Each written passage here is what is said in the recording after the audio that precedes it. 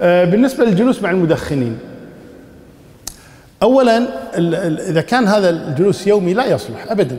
الإنسان يوميا يجلس معهم يدري أنهم مدخنون ولا ينكر عليهم. بعد ذلك لن ينكر. خلاص يعني لابد أن يحسسهم أن هذا خطأ إما بالكلام وإما بالخروج. يعني ما يبقى في المجلس. هذا أمر. الأمر الثالث أنه إذا قدر أنت في مجلس مثلا ما قصدت وكذا كذا وكان في واحد مدخن ما عليك شيء إن شاء الله تعالى.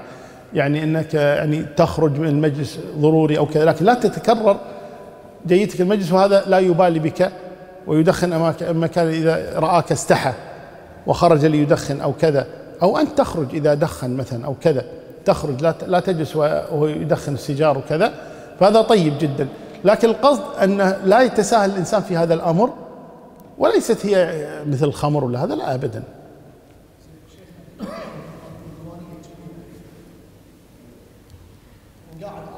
ما أنت ملزوم تروح الديوانية إذا كان ديوانية الوالد.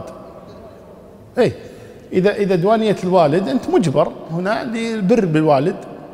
زين؟ ما في بأس إن شاء الله تعالى.